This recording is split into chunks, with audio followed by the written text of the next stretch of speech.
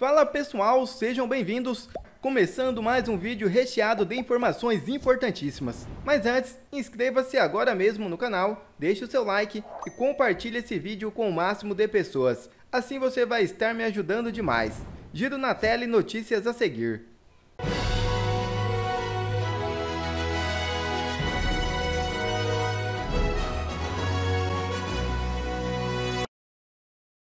Valdemar quer reunião com Lira para anistiar Bolsonaro, de site. É isso mesmo. Presidente do PL quer derrubar inelegibilidade antes de 2026. Nesta quinta-feira, o presidente do Partido Liberal, Valdemar Costa Neto, declarou que pretende se encontrar com o presidente da Câmara dos Deputados, Arthur Lira, na próxima semana para acelerar o projeto de lei que visa anistiar os presos do 8 de janeiro. Ao R7, Valdemar teria afirmado que também pretende incluir neste projeto anistia ao ex-presidente Jair Bolsonaro, para que ele possa concorrer à presidência em 2026. Antes deste encontro, Lira deve receber o próprio Bolsonaro em uma reunião que deve acontecer em Brasília. Será na residência oficial do presidente da Câmara que o deputado deverá receber o presidente do PL. A ideia é conseguir que Lira adiante a votação antes de deixar a presidência da Casa de Leis. Uma nova eleição para a mesa diretora acontecerá em fevereiro de 2025. Mas ao ser procurado para comentar sobre este encontro, Lira negou que tenha agendado qualquer reunião. E Polícia Federal cumpre mandados do STF de busca e apreensão contra Gustavo Gayer. É isso mesmo. Na manhã desta sexta-feira, a Polícia Federal deflagrou a Operação Descalculia, cumprindo 19 mandados de busca e apreensão contra um grupo criminoso suspeito de desviar recursos da cota parlamentar. O benefício mensal destinado a deputados e senadores para custear despesas como transporte e aluguel de escritórios estaria sendo utilizado de forma irregular para financiar uma organização da sociedade civil de interesse público. Segundo informações preliminares divulgadas pela Globo News e Folha de São Paulo, um dos principais alvos da operação é o deputado federal Gustavo Gar. Durante a ação, a PF apreendeu o celular do parlamentar, além de 72 mil em espécie encontrados na casa de um de seus assessores. As buscas também foram realizadas em outros endereços ligados ao deputado. Não preciso nem falar que isso parece, tem cara e até cheiro de perseguição política contra o deputado federal Gustavo Gar.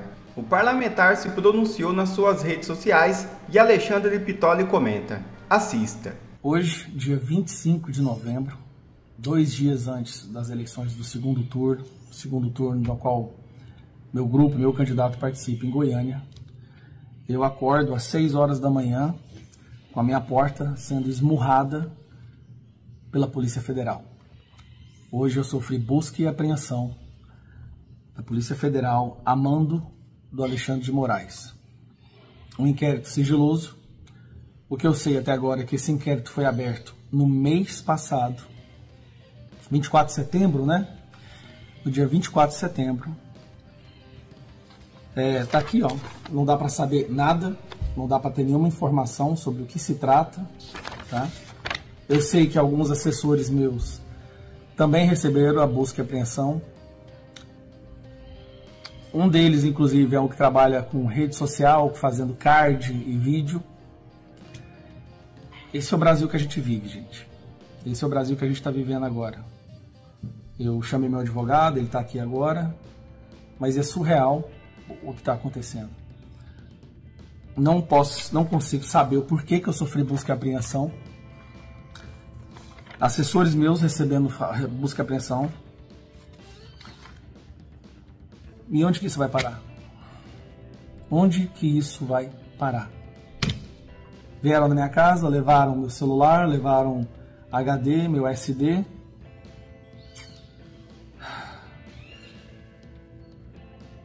Essa democracia relativa está custando caro para o nosso país. Viu? Alexandre de Moraes determinou essa busca e apreensão agora. Não consigo, só falo o que é que tem que levar. No documento aqui não fala o porquê que eu estou sofrendo busca e apreensão. Numa sexta-feira, sendo que a eleição é no domingo. Claramente tentando prejudicar o meu candidato, Fred Rodrigues, aqui em Goiânia O inquérito é físico.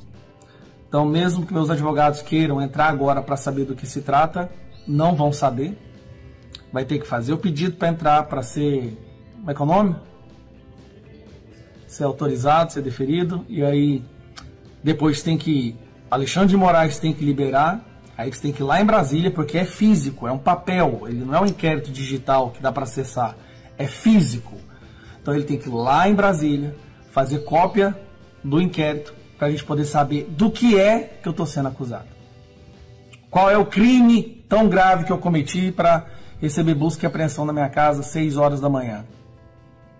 Eu não, assim, eu falei para a Polícia Federal que estava aqui, eu não estou acreditando que essa corporação que a gente tanto admirou, que a gente tanto tentou proteger, né?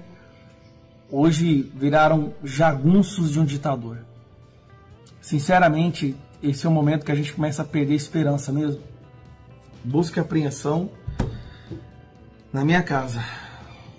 Eu que nunca fiz nada de errado, nunca cometi nenhum crime, estou sendo tratado igual um criminoso pela nossa Polícia Federal e pelo Alexandre de Moraes. Alexandre de Moraes, eu não sei se o senhor já percebeu, mas quando o senhor manda fazer uma busca apreensão na casa de alguém, essa pessoa é como se recebesse naquele momento um carimbo de honesto.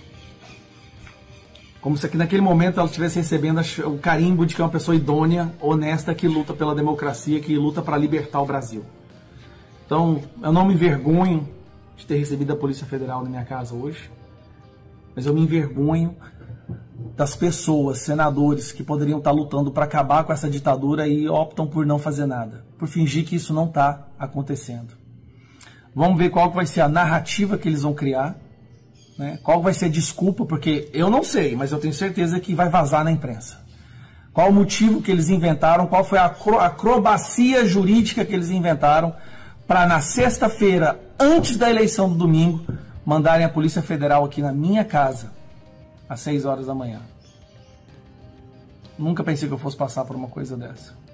Mas a gente está vendo a quantidade de pessoas inocentes hoje no nosso país que estão sendo perseguidas, presas, humilhadas, torturadas.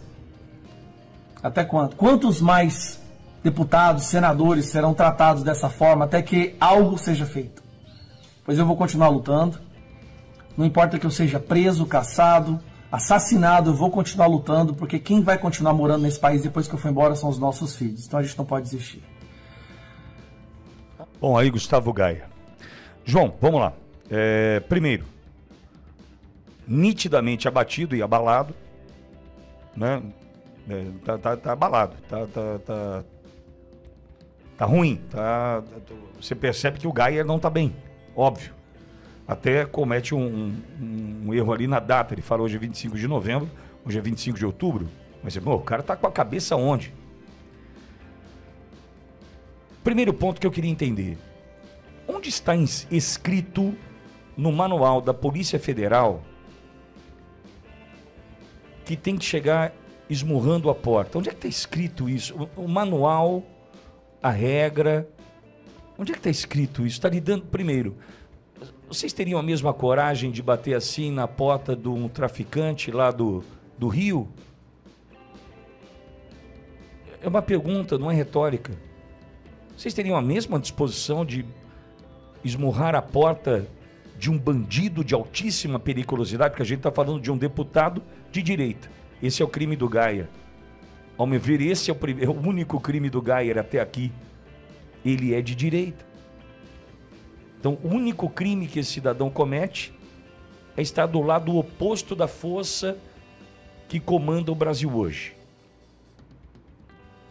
Ao meu ver, inicialmente, num primeiro olhar, esse é o crime cometido pelo Gaia. Ele é de direita. Onde está escrito no manual da Polícia Federal que na casa de um cidadão, de um parlamentar, de um deputado federal, que aparentemente não cometeu crime algum, a não ser ser de direita, que é um crime no Brasil, chega se esmurrando a porta. Eu, eu queria entender, de, de coração, eu queria entender. Não vou mentir, eu tenho receio que isso aconteça comigo por conta não da minha vida, mas da vida dos meus filhos, da minha esposa, eu tenho medo sim. Sei, tenho. Como é que esses vão chegar ali? De que forma esses vão chegar, né? Ah, na casa de um cidadão de bem como chegaram na do Gaia? Então, amigo, isso é, é o primeiro ponto. Onde está escrito que a truculência deve ser a marca registrada inicialmente? Nenhum crime cometeu, a não ser escolher ser conservador. É triste, né? Nos remete à Alemanha, hein? Nos remete à Alemanha. Nos remete à Alemanha da década de 40, de 30, 40, hein? Nos remete à Alemanha do bigode. Outro ponto. Já discutimos aqui esse assunto, João e eu. Mas se a Polícia Federal foi, não é porque pode ter forte indício. Vamos lá. Quando eu tenho defendido aqui a minha preocupação dessa triangulação, acabei de falar aqui na entrevista com Emerson da Estúdio 92, quando eu falo sobre a triangulação perigosíssima para nós entre Ministério da Justiça, que comanda a Polícia Federal, liderado por Lewandowski. Quando eu falo sobre PGR, a Procuradoria-Geral da República, comandada por Paulo Gonet, ex-sócio, sócio de Gilmar Mendes, e falo do Supremo Tribunal Federal, eu estou falando de uma triangulação perigosíssima que me sugere, inclusive, no campo do achismo, que a Polícia Federal não necessariamente pode ter usado de uma proatividade, ter tomado frente ou a iniciativa para investigar isso ou aquilo, mas pode ter sido provocada, mais ou menos assim, um telefone que toca. Lembra aquela música do Roupa Nova? Um telefone que toca. Eu digo alô sem resposta. Nesse caso tem resposta. Mais ou menos assim.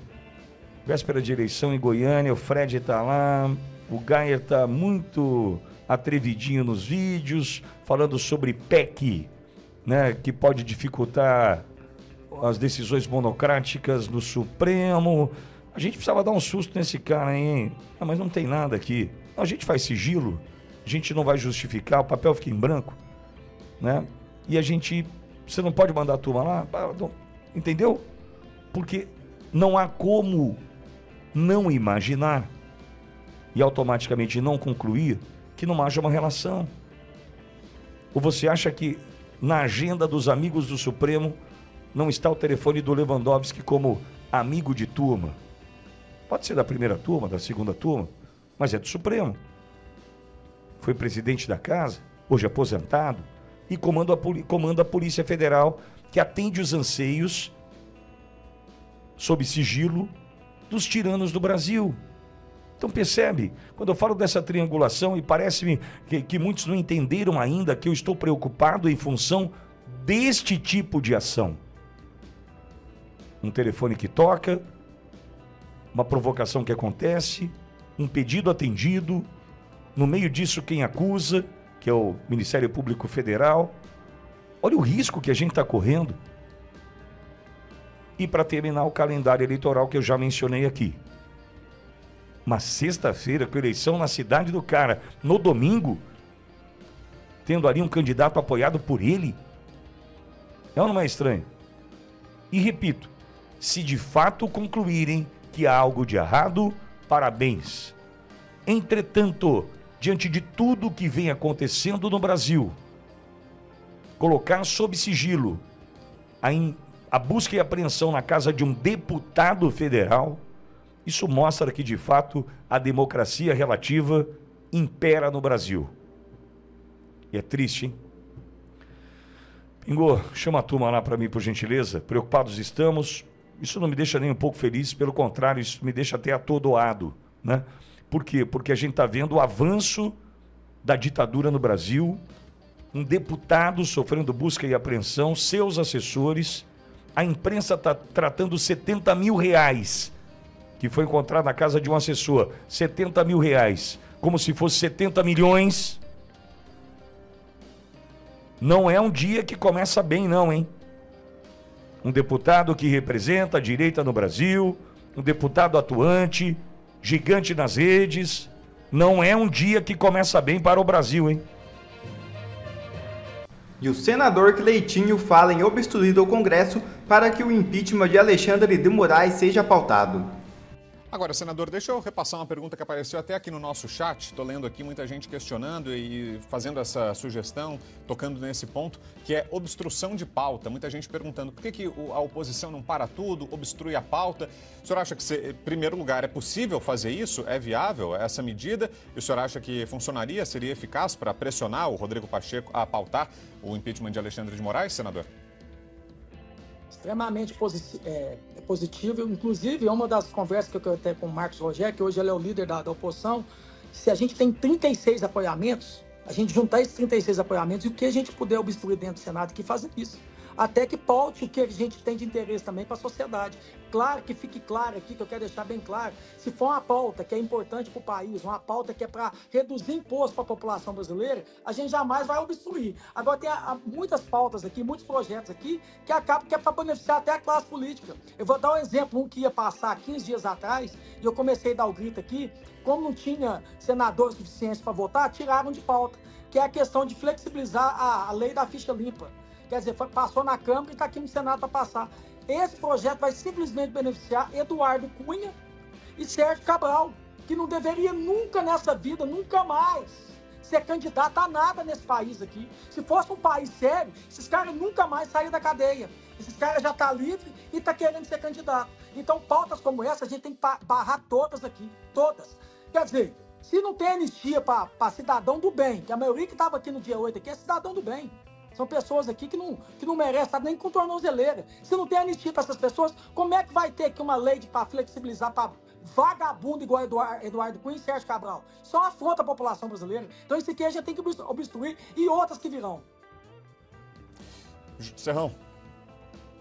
Muito bem, Cleitinho. Agora, você acha que esse tipo de proposta consegue ser barrada realmente aí no parlamento? O Eduardo Cunha ainda não tem aquela pressão que ele sempre teve de influência política para se beneficiar? Você acha que é possível o mal aí ser barrado no Congresso Nacional?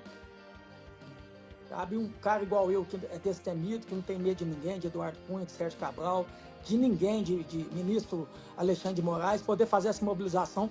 E isso aí que eu acho que é importante a população.